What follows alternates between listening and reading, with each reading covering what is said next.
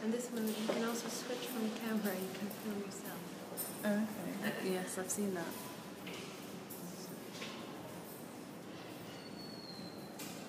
So that it's a good silhouette. You can really see everything going on. Huh?